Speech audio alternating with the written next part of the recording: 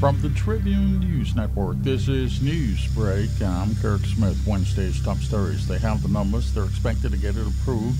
The House meets this morning to debate the resolution, which will extend the COVID 19 emergency orders to May 23rd.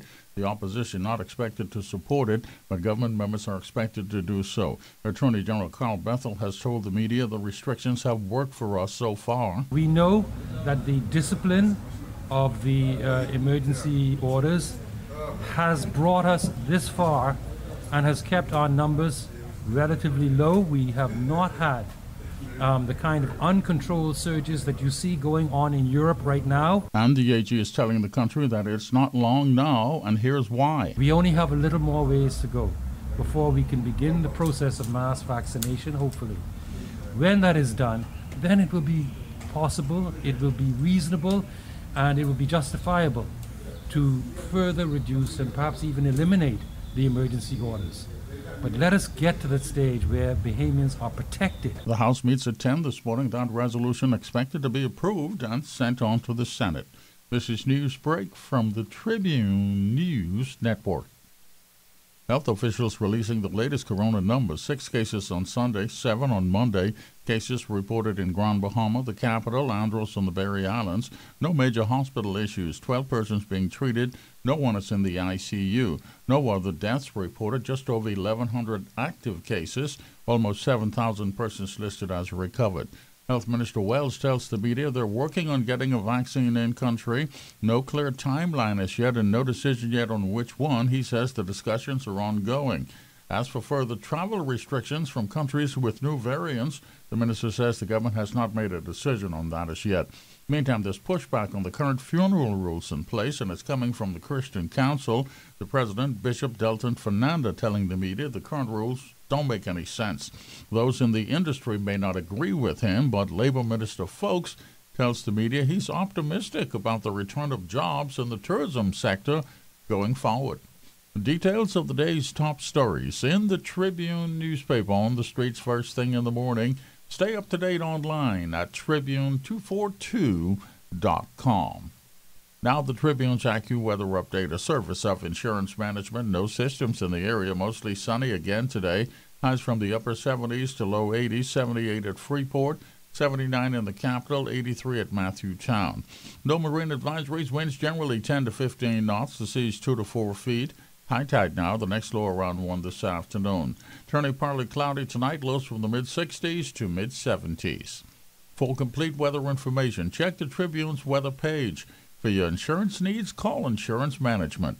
Insurance Management wishes everyone a safe and prosperous 2021. Give them a call today for all of your insurance needs. They offer a wide range of insurance products.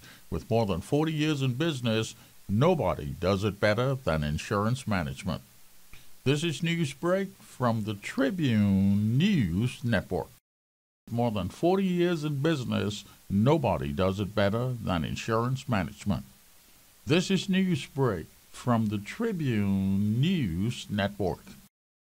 Looking for a home, lot, or condo? Then pick up a copy of the Tribune's Home Buyer's Guide. Every Monday, your number one source for homes, condos, lots, and home care needs. Open the door to your dream home. Plumbers, electricians, tilers, and contractors. It's the perfect place to advertise your business. Call us today at 502 2356 to book your space in the Bahamas' leading newspaper, The Tribune, the people's newspaper. Wednesday's World News headlines U.S. President Biden taking major steps to try and slow the coronavirus spread in our country, where more than 400,000 persons have died now. He's ordering ramped up vaccinations across the country. That while other countries continue to struggle with the spread, the British considering additional restrictions after they crossed the 100,000 mark in deaths. Government of Peru has ordered complete lockdowns across 10 states as the second wave of the virus rages there. Tribune's gas tracker prices middle of the week Shell 391, Esso 402, Rubis $4.01 per gallon here in the capital. Now your sports notes brought to you by the Tribune Sports section. An update on LaShawn Hicks. She's playing basketball in Europe, remembering Kobe Bryant. He died in that helicopter crash a year ago this week. The Tribune has some memories. There's the NBA update in the Tribune Sports and a preview of the upcoming Super Bowl game between the Tampa Bay Bucks and the Chiefs, being billed as the battle for the ages. Get the facts and figures and the keys to the game in the Tribune Sports Wednesday. For all your sports details, you want to check the Tribune Sports section. Everything you need from the world of sports, you'll find in the Tribune Sports. And that's your news break. Details of the day's top stories in the Tribune newspaper on the streets first thing in the morning. Stay up to date online all day at tribune242.com. On the streets first thing in the morning.